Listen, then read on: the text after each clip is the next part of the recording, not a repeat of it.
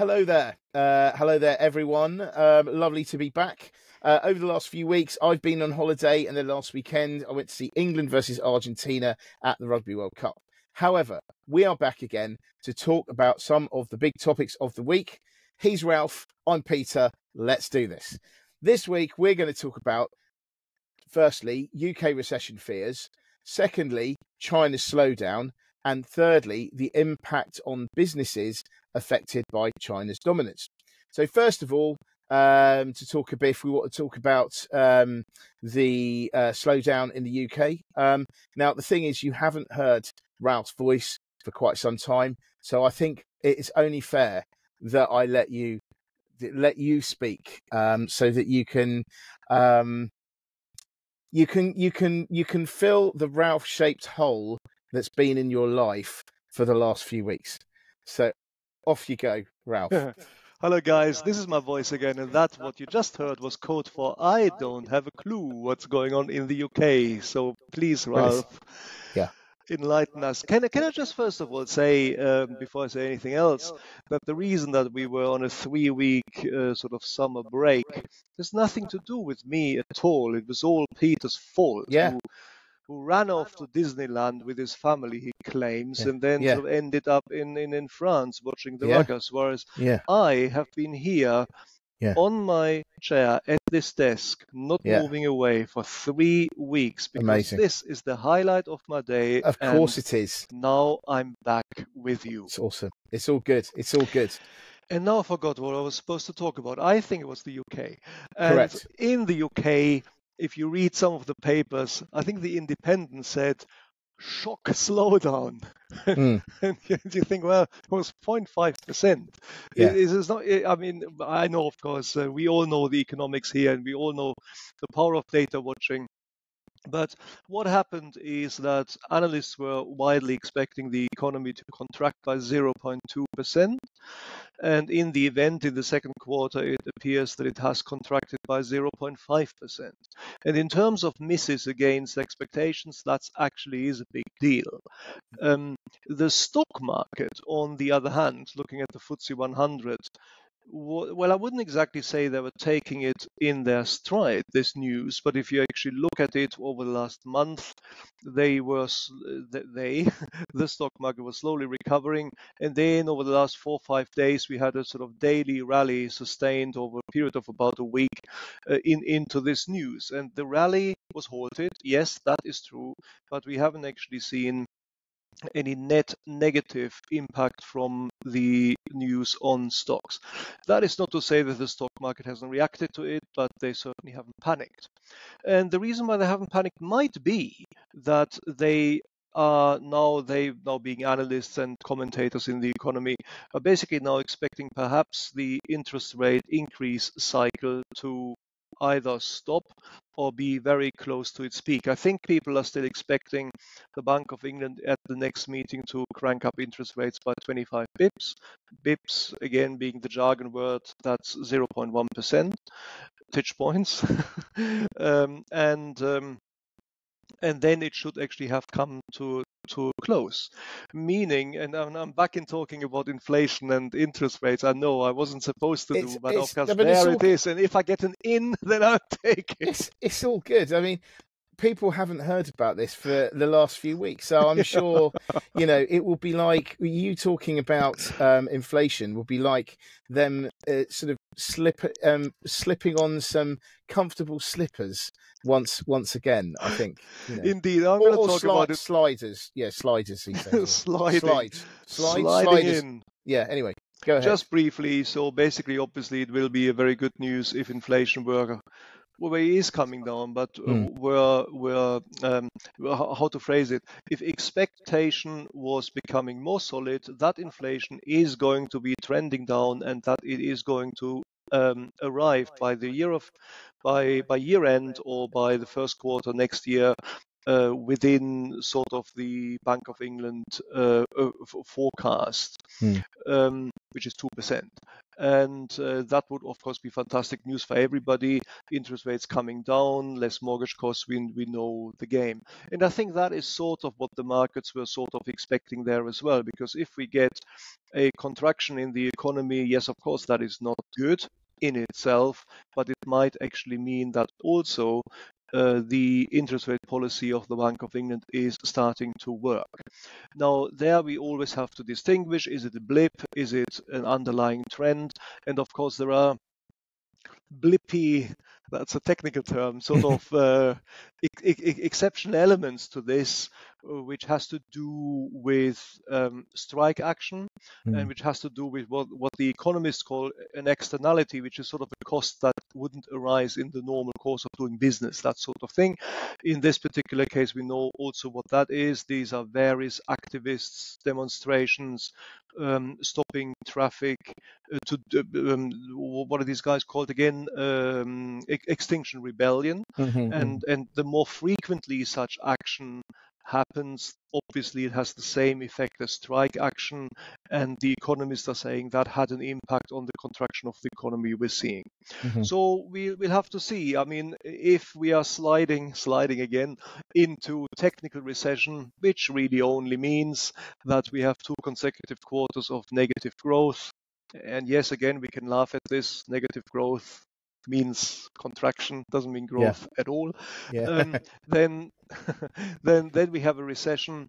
Is that going to be a disaster? Probably not, uh, because Germany is technically or has been technically in recession already. For example, I mean, this is just something which we have to take into account. It's just going to happen as a result of the situation we're in. Um, why would it be negative? It would be negative for the political parties, well, for, for one political party, for the Tory mm. party, because we're heading into election cycle next year, and uh, they will, of course, want to avoid any negative news. So, in conclusion, I would say, yes, the news looked at at the headline level is clearly negative, hmm. but I think the underlying silver lining that we might get to the end of the interest rate hikes and the, and, and the commensurate uh, what's the word here? Established trend downwards for inflation. And all the positive impacts which are going to be connected with that is probably uh, taking um, taking the balance here. And and, and, and, at the moment we're coming we're coming out as a net moderately negative from this news, I think. But, but not I... but, but but not like the independent try to suggest a shock disaster. Yeah, no, fair enough. I mean, the thing is, we came, we we came pretty close. Uh, within it was something like 0.1 percent or something of of of recession. Yes. I think it was at the end of last year, mm. and you know there was there was much made of the fact that we didn't fall into recession, although it was by literally half a whisker. um, I would say that um, you know the expectation now is again that we will fall into to recession. Um, as you mentioned, you know this will be problematic for uh, for the Conservative Party um, heading into election year next year. Um, I think personally that the only way that we can avoid recession that we might re- avoid recession is if somehow um, the government brings in measures that will suddenly, you know, at least paper over the cracks um, and provide some kind of growth. Now, I don't know how they're going to do that, um, but maybe they will, because to fall into recession, especially next year, um, would be an absolute gift um, to the Labour Party in particular. Um, so, you know, I that's it. All I would say is maybe you know, will the government just pull out all the stops to to prevent uh, us falling into recession? I don't know, but that's the only way I think we can get out of it as things stand at the moment. So anyway, let's move on to the, to the next thing is a China slowdown. Now, I mean, this is this is a very much of a I guess it's a general thing. I mean, a lot of the data points we've been seeing over the past few weeks and months are that China is slowing down. You know, we've had that uh, news, was it recently, that was saying that the um, Chinese um, wanted to. Uh, the government was telling observers, um, you know, like economists and things, not to um, uh, dwell on the negative. Um, also, it stops giving out figures of youth unemployment because they're so high. Um, you know, all that kind of thing. Obviously, they are trying to control the narrative. They are trying to do uh, damage, damage limitation. Uh, but we also saw this week, though, that there was a, a business confidence problem. Um, so the most recent Caixin um, survey showed that the uh, business confidence in August fell to its lowest point in a year. Um, which isn't great. That's bad for job creation, wealth creation. Um, it also arguably stops innovators from innovating because they feel that they don't want to take on so much risk although obviously the state is trying to encourage um, banks to lend. Um, but you know, but it just seems um, that at the moment uh, the confidence is low. Mm-hmm. But what what do you think about that, Ralph? Entirely true. I mean, obviously, these are the data. Um, I, I, don't really have a lot to add to the data. Confidence appears to be low at the moment, and mm. growth is certainly stalling. Maybe just um, less as an opinion piece from me, more maybe just a little bit of framework of where the Chinese economy stands in the mm. world and where it comes from and what we are actually looking at here. Mm. Because it is a phenomenal um, country, I have, I have to say. But obviously, it came out of nowhere, out of uh, the the Mao Zedong uh, revolution there, which created a bitterly poor country with uh, a very poorly applied form of communism, which happens to be sort of generally the case when communism has been tried to apply in in in reality as a functioning uh, system to organize societies it has always been back it has always backfired and countries were always bitterly poor. So that was china then.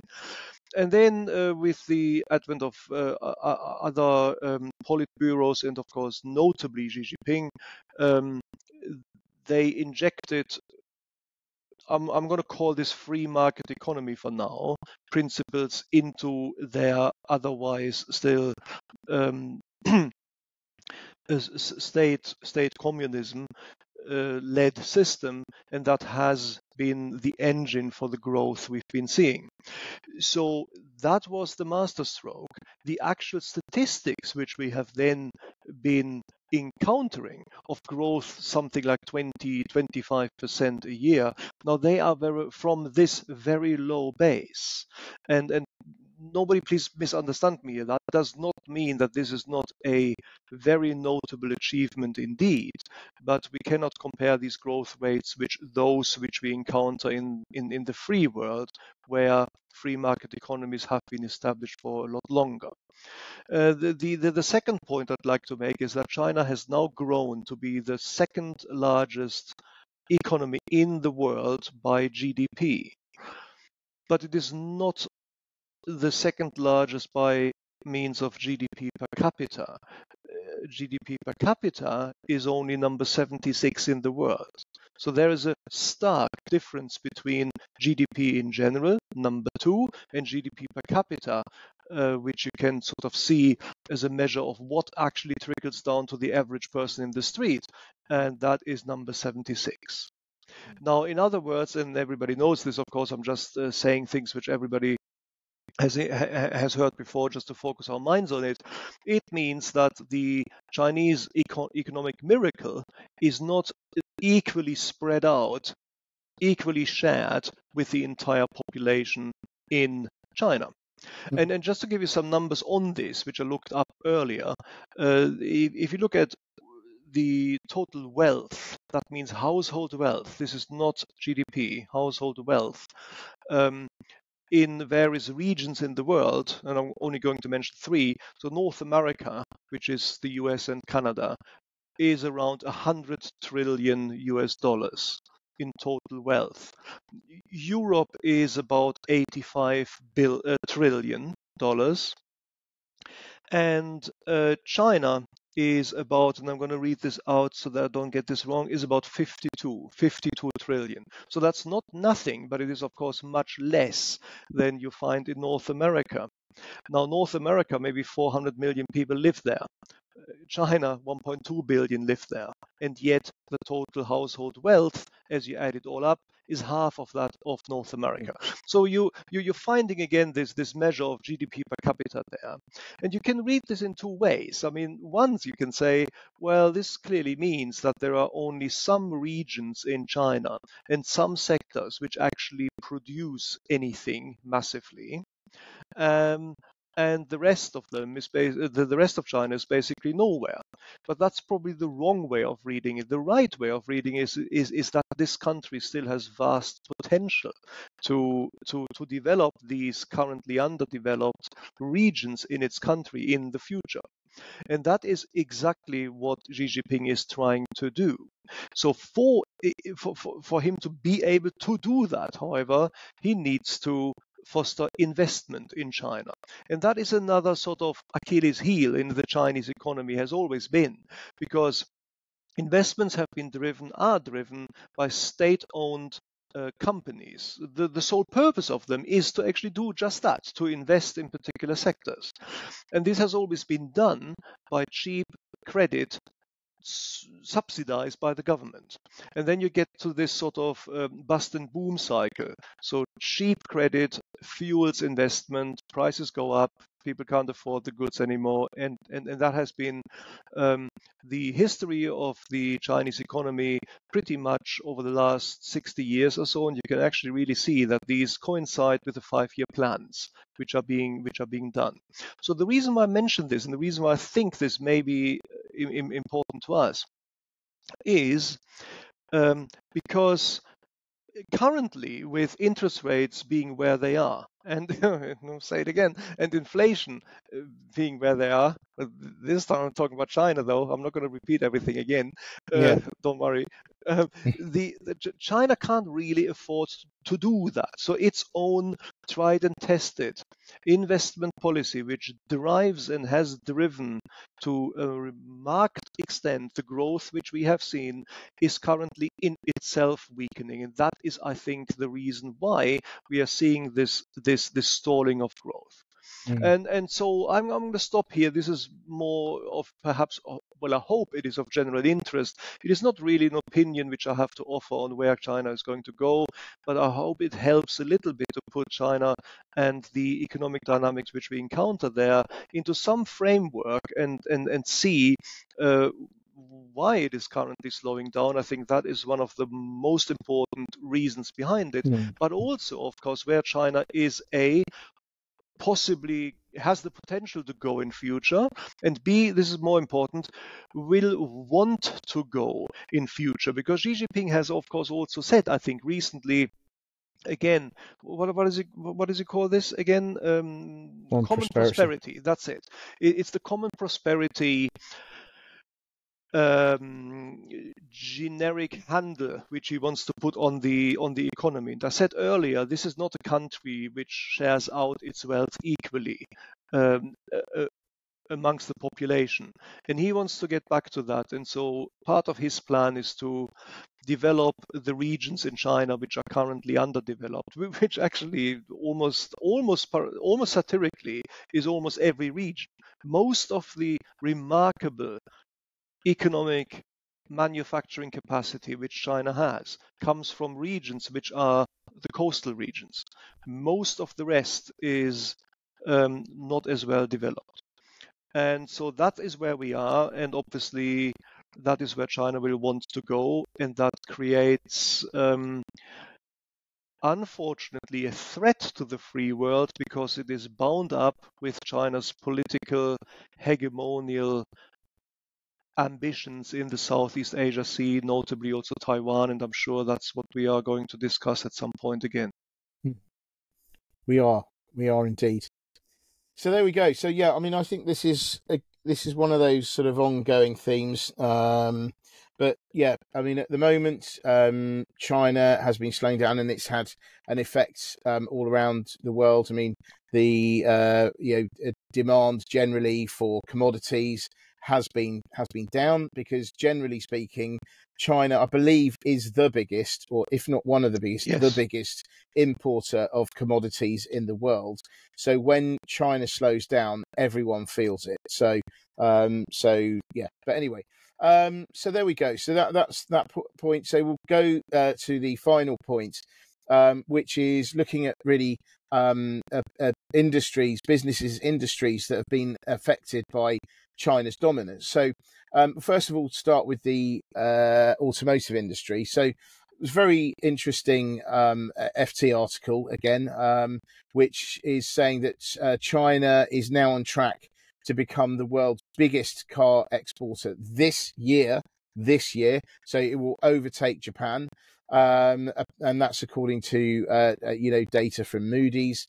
Um, and I think that you know they've been particularly uh, successful with electric vehicles. Mm-hmm. Now, coupled with that, we then saw, um, uh, you know, uh, this week um, that the EU has now decided um, to uh, to do an investigation um, into um, into uh, subsidies and the unfairness thereof of state China's state subsidies giving Chinese auto, uh, EV makers an unfair advantage versus their competitors.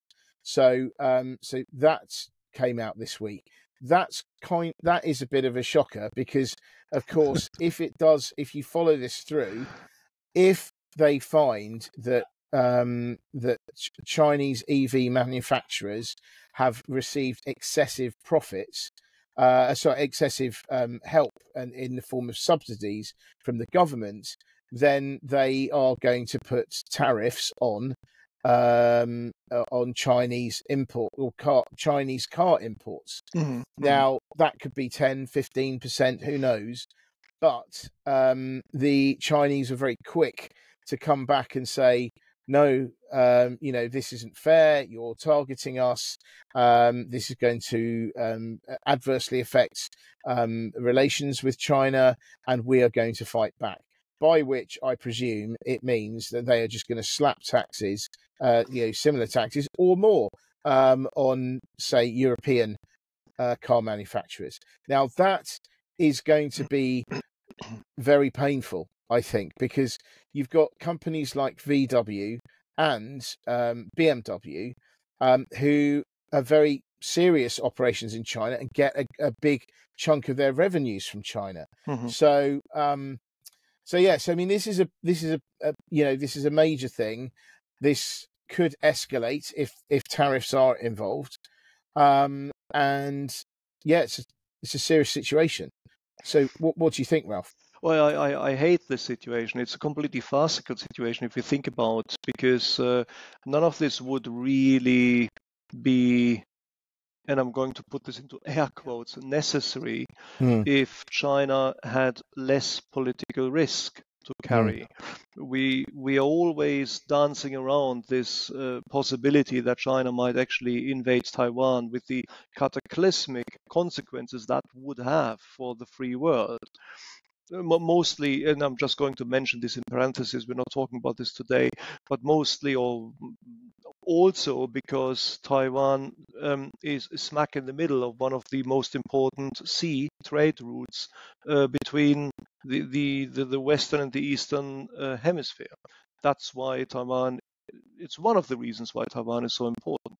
And clearly, uh, a Chinese emboldening hegemonial force as a emerging leader of a consolidating autocratic world is something which of course the free world would also be concerned about and these uh, concerns are we, we, can't disentangle the, the it's, it's, like a Gordian knot. We can't cut it. You know, you, you can't say, "Oh, but this is politics. Let's let's take this out of business. We were doing business here. You know, this is we business people." But uh, we were, clearly we may be, but this is uh, not going to be uh, a policy politics-free zone when it comes to dealing with China. So that is obvious. Uh, I just wanted to mention this first. Um, The second point is the EU probe. Well, I, I would almost say I'm bemused by this, but I'm actually more than bemused. I, I find it rather ridiculous for the EU to say, "Ooh, uh, this this is an unfair advantage." This is not fair or unfair. I mean, this is it's in in their good rights to actually subsidize whatever industry they want. It's their industry, you know. So this goes back to what I said earlier in my sort of generic spiel about what the Chinese economy is and how it works. In, in investments are state subsidized in China. This is the way they're doing business in China. And so cheap credit, for example, to fuel investments uh, is a, a tried and tested component of Chinese business policy. And the EU needs to, of course, find some reason to justify tariffs which it wants to slap on uh, Chinese cars. But to me, this is a fait accompli. They, they, they want to do this anyway. They just need to find the reason so that they can say, "Oh, this is unfair. Therefore, we do this." Um, the reason why the EU wishes to do this is obvious because, as you say, China has emerged as, or is emerging today, so this year, as the most um, important automotive industry in the world. And to be hmm. honest with you, it's always been dancing around that first spot anyway in the last mm-hmm. sort of 10 years, to be to yeah. be honest. Um, and so, and so, what we're getting to here is a situation that the EU and, of course, also America uh, believes that it needs to protect the its its own sectors through protective tariffs probably for the reason which I mentioned before, because of politics. If China was a friendly country which did not actually carry the political risk which we defined earlier, none of that would be necessary. You you would just then say, well, we may not like it, but the cars are good. If we mm. want to keep them out of our country, let's make better cars. Mm. But that's not how this is going to work this time, and um, and so I do see uh, various risks here, not just in the automotive industry, that that we are going, we being the EU, I know we, we are not part of the EU anymore. Let, let, let, let's say Europe, that sort of Europe and of course the European Union is going to follow the US in, in, into a trade war with China, which will have political implications as well mm. and is not going to benefit anybody, not China, not the EU, um, and uh, is not going to benefit uh, the much needed decrease of inflation. Mm. There, yeah. I said it again. Just, that was shoehorned in a little Absolutely bit. Absolutely brilliant. No, but anyway, jo- but jo- jo- joking aside, that that's the, the, the situation that I foresee. The the only way out of this, well, not the only way, but one possible way out of this would sort of be that uh, European manufacturers and US manufacturers would sort of have to do what I just said, leave politics aside and say, well, we just need to manufacture better cars, or in this particular case specifically, we need to find ways to manufacture batteries ourselves, maybe maybe accelerating the vast resources of whatever that was exactly the, the metal which is used in the manufacturing of Norway, which has recently been found in Norway, for example, mm-hmm. or the announcement of Toyota that by 2028 they will deliver solid state batteries. All these types of advances will have to be harnessed and perhaps uh, focused into developing an industry which is less dependent on the input of China in order to then also garner political capital out of that. Yeah, agreed. I mean, you know, that's that that yes, absolutely. And and when you think that at the moment uh, Chinese EVs have got uh, an eight percent market share in Europe, and that projections are that they, they that will go up to fifteen percent in two years. You know, time uh, time appears to be of the essence. Now, I have said, like I said last week, um, my controversial ranting opinion um, last week that I personally believe that we have lost. Uh, everyone has lost uh, the EV battle with China. Uh, that's not defeatist. That's just how it is. Um, they've got you know ninety percent. They've got control of ninety percent or or more of the world's raw materials and refining um, for batteries. They've got the biggest battery manufacturer in the world, uh, in CATL. Um, they've got, uh, and then all of their um, their EV makers are doing incredibly well in the domestic market, and they're wanting to do well abroad. Hmm. So you know, I personally believe that what needs to be done here is we need to sort of uh, acknowledge um, China's superiority here, and then put all our, or you know, put suddenly put a lot more effort and money into alternative, as you say, technologies that that mean that we are less dependent um, on on you know on China. That's going to take a while, but I think that it needs to be done. Otherwise, we'll be in the same position that we were when, um, for instance, I don't know, 10, 15 years ago, um, we that uh, you know Europe did have capacity with regard to solar panels, but then just China completely obliterated um, the whole market. So that is going to happen again, and it's ridiculous because if we've seen it already happen, mm-hmm. why are we letting it happen all over again? Uh, well, I, in, indeed. I mean, I think it's I think it's arrogance on on the part of the the companies involved because they clearly thought, oh well, ch- not treated China seriously enough, but now they should, and you know we need to sort something out here. Not saying I'm not against China. I'm just saying that if we want to actually compete with China, we've got to do something drastic, and yeah. that drastic action is you know going to you know hydrogen fuel cells um, synthetic fuels, you know, that sort of thing.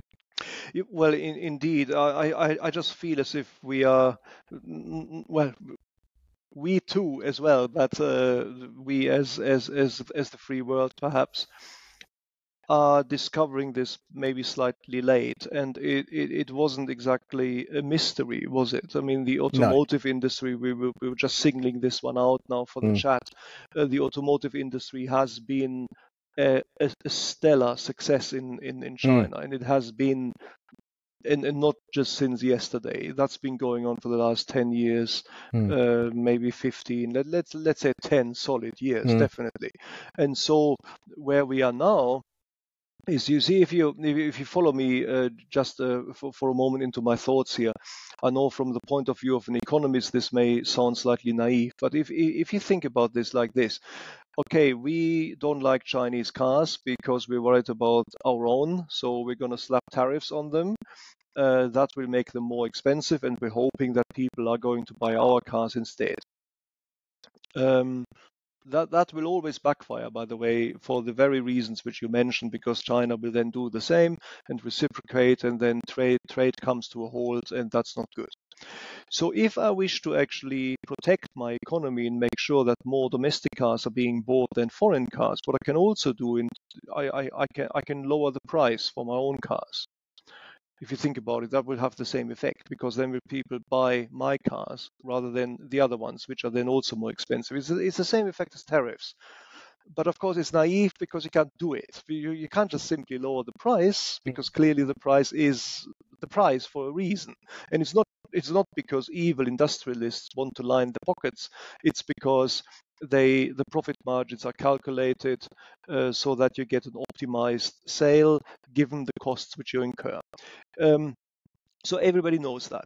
So we can't do that. But what can we do to get an equivalent incentive. We can't lower the price, but we can increase the quality of the product for the same price over the in, over the quality of the product that we can buy abroad.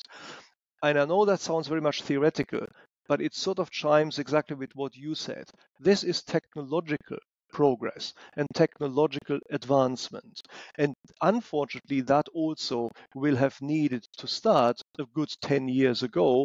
And in you know, in, in, in pockets, is, it of course has, but I do wonder whether we are, we, whether we're putting our uh, um, money on the on, on the wrong horse. Uh, Mhm. hydrogen is also something which I think we would need to actually look at and fuel some more investments into. But if we're staying with electric vehicles, I think we need to um, accelerate and focus on the opportunities that we do have, and I mentioned them before. Norway is one, which is the raw material found there, and uh, Toyota's solid state batteries is another one. Fusion technology to create the electricity for the EV batteries is a third one, etc. But it is going to be a tough um, a tough uh, time ahead. I'm I'm afraid in terms Yeah. of the global economy. It is. so uh, we shall just quickly finish on um, another example um, of this, where where China is asserting its dominance. Um, there is a company called Beko. In fact, I've got a Beko washing machine, Mhm. um, and Beko is uh, a, a, you know is part of a stable of brands including Grundig, Blomberg, not Bloomberg, Blomberg, and Singer. Um, and the parent company is uh it i uh, forgive my pronunciation here. The um spelling is a r c e l i k uh which it. sounds arsenic maybe. Um and i i'm hoping that the closed captions that might appear on this video will uh, reflect something. I don't know. But anyway uh and interestingly uh fun fact that the parent company of that company uh, is called KOC, or is spelt KOC Holding, uh, which what a you know what a coincidence. Uh, but anyway, um, the, the the whole kind of argument with that is that um, is is that um, they have made so China's um, appliance makers have have made too many product, too much product, and the and what Beko is or what, what actually Arslick is saying is that they are saying that um, what will happen is that this excess product is going to find its way to Europe, be sold cheaply, mm. and that's going to mean that people aren't buying Beko or Grundig or Blomberg uh, machines. Mm. They're going to buy Chinese machines instead. Now, this has happened many times before, where let's say, particularly iron ore is one is a classic example where China has made too much, and so they think, well, we've we've got all the stuff we need. Let's just flood the market, and that means that everyone outside China suffers because no one can undercut the Chinese because the Chinese just want to get rid of this Mm. excess. Mhm. So this is a real problem. Um, and you know, and and I think you know, if you're an appliance maker, it's not great because of course you don't buy many appliances during, during you know you buy an appliance and you keep it for many years. So this is a you know this is a serious problem.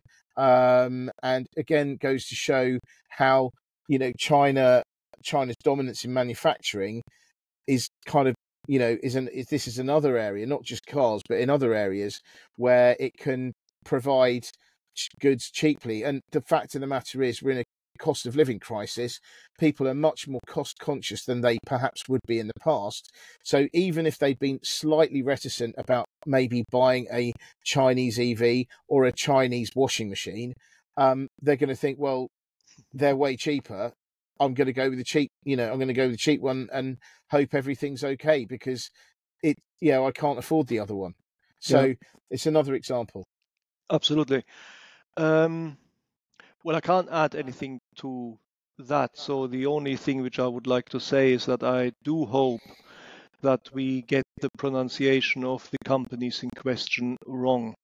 And I have some evidence for that because you said Grundig. Now, on that one, I can Ah, tell sorry, you that yes. as a German, it's called Grundig. So I have Ah, some Grundig. hope. Yes. I have some hope that we are not pronouncing this properly. But I can say this, and this is the thought I would like to leave you guys with. If I had to cover, cover as in I used to be an equity analyst, of course, you guys know this.